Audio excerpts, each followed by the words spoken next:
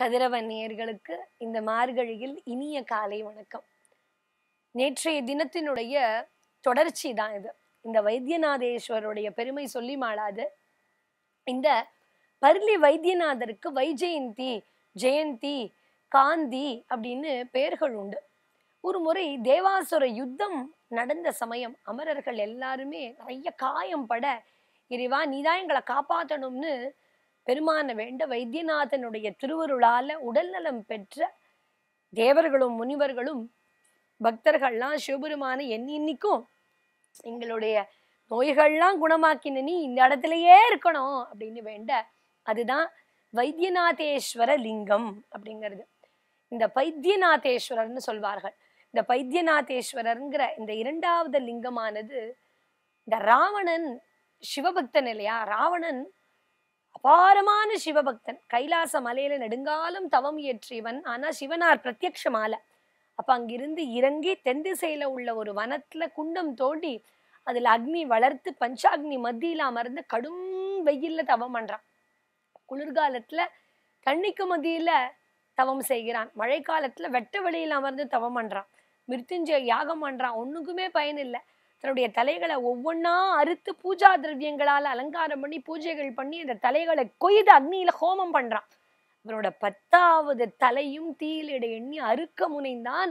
உடனே சிவபெருமான் பிரத்யட்சமாய் ராவணா கடுந்தவத்திற்கு மகிழ்ந்தேன். உனக்கு என்ன வரம் வேணும்னு கேட்க யாவரையும் ஜெயிக்கக்கூடிய வல்லமை வேணும்னு கேட்க அதுக்கப்புறம் ஒரு ஆத்மலிங்கம் பூஜிக்கிறதுக்காக கேட்குறான். அதை ஈசன் கொடுக்குறார். இதை தரையில வைக்காமல் இலங்கைக்கு கொண்டு செல்னு சொல்ல ராவணன் ரொம்ப சந்தோஷமா? எடுத்துன்னு போறான் அப்பதான் நடுப்புற அவனுக்கு அவசரமான ஒரு வேலை இருந்ததுனால இடைச்சிறுவன்ட்டு அதை கொடுக்குறான். அப்போ அந்த லிங்கத்தை பார்த்து கொள்ள சொல்ல கையிலேயே வச்சுக்கணும் கீழே வைக்க கூடாதுன்னா அந்த பையன் கீழே வைக்க எடுக்க எடுக்க எடுக்க எடுக்க எடுக்கவே முடியல. அந்த பெருமான் அந்த இடத்த விட்டு அசைக்க கூட முடியல. இவ்வாறாக பரமேஸ்வரன் அங்கேயே வைத்தியநாதேஸ்வரர் அப்படின்னும் திருநாமத்தோட விளங்கி கொண்டாட பைஜு அப்படிங்கிற வேடன் இந்த லிங்கத்தை பூஜித்து முக்தி பெற்றதன் காரணமாக இந்த இறைவன் பைஜுநாத் பைத்தியநாத் அப்படின்னு அழைக்கப்படுகிறார். இந்த கோவில் ரொம்ப பெருசு. கோவிலுடைய வெளிப்பிரகாரத்துல பிரதட்சணம் செய்யும் போது இருபத்தோரு ஆலயங்களை நம்ம பார்க்கலாம். இவரை தரிசித்தாலே சகல வியாதிகளும் குணமடையும். கதிரவன் நேர்களுக்கு இனிய காலை வணக்கம். இந்த மார்கழி மாசத்துல மாலவன் அருளும் மார்கழியில பார்க்க போற திவ்ய திருத்தலம் இன்றைக்கு திருக்கண்டியூர். பிண்டியார் மண்டை ஏந்தி பிறர் மனே திரித்தந்துண்ணும் உண்டியான் சாபம் தீர்த்த ஒருவனூர். உலகமே தும் கண்டியூர் அரங்கம் மெய்யும் கச்சிப்பேர் மல்லை என்று மண்டினார். உயல்லால் மற்றையர் குயலா மற்றையார் குயலாமே. திருமங்கையாழ்வார் இந்த பெருமான மங்களாசாசனம் பண்றார். இந்த கோவில் தஞ்சை திருவையாறு மார்க்கத்துல திருவையாறிலிருந்து ரெண்டு கிலோமீட்டர் தூரத்துல இருக்கு. இது ஹரசாப விமோச்சன பெருமாள் தலம். மூலவர் கமலநாதன் உற்சவர் கமலநாதன் தாயார் கமலவல்லி நாச்சியார் விமானம் கமலாக்கிருதி விமானத்தோட அரசமரம் தலவிருட்சமாய் அமையப்பெற்று வைகானச ஆகமம் கொண்டாடும். சிவபெருமான் அகத்தியர் போன்றோருக்கு இங்க தரிசனமே கிடைச்சிருக்கு இந்த சுவாமியினுடைய தரிசனம். உன்னத அற்புத திவ்ய தேசம்.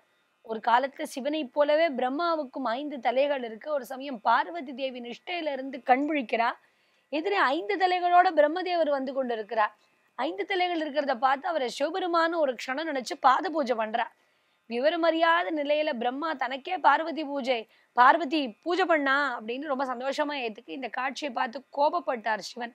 என்னை போல் உனக்கும் ஐந்து தலைகள் இருப்பதால் தானே இப்படி ஆணவத்தோட இருக்க? உன்னுடைய கொட்டத்தை அடக்குகிறேன்னு ஆவேசத்தோடு. அவருடைய ஒரு தலையை தன்னுடைய நகத்தால கிள்ளி எறிய பிரம்மனுடைய தலையை கொய்த காரணத்தினால பிரம்மகத்தி தோஷம் வர சிவனுடைய கையில அந்த பிரம்மனுடைய கபாலம் பிச்சை பாத்திரமா ஒட்டி கொண்டு வெள்ள கையை விட்டு வரமாட்டேன்னு மறுக்க அந்த சாபத்தை நீக்கி கபாலத்தை விலக்கியவர் இந்த தலத்து பெருமாள். திருக்கரம்மனூர் அப்படிங்கக்கூடிய உத்தமர் கோவில்ல மகாலட்சுமி சிவபெருமான் கையில இருந்த பிரம்ம கபாலத்துக்கு அன்னம் போடுறா. கபாலம் அப்படியே நிறைய அது வரையில சிவனை வாட்டி எடுத்த பசித்துயரம் போக ஆனாலும் பிரம்ம கபாலம் அவருடைய கையில ஒட்டி கொண்டு போக மாட்டேங்கிறது அப்போதான் பெருமாள் அவரை திருக்கண்டியூர் வந்து பத்ம தீர்த்தத்துல நீராடி அங்கு எழுந்தருள் இருக்கின்ற தன்னையும் கமலவல்லி நாச்சியும் வழிபடும்படி சொல்ல சிவபெருமானம் அவ்விதமே பண்ணி பிரம்ம கபாலம் அவர் கையிலிருந்து விழுந்து மறைந்தது. அந்த நன்றியை தெரிவிக்கும் பொருட்டு சிவபெருமான இந்த தலத்துல கோவில் கொண்டு அருள்பாலிக்க பிரம்மா சிவன் விஷ்ணுன்னு மும்மூர்த்திகளையும் தரிசிக்கக்கூடிய அற்புதமான கோவில். பிரம்மனுடைய சந்நிதி இங்க மூடப்பட்டு இருக்க பக்தர்களுடைய பிரார்த்தனை எதுவானாலும் உடனே மனசிறங்கி அருள்பாலிக்கக்கூடிய மூர்த்தியை மனதார தொழுவோம்.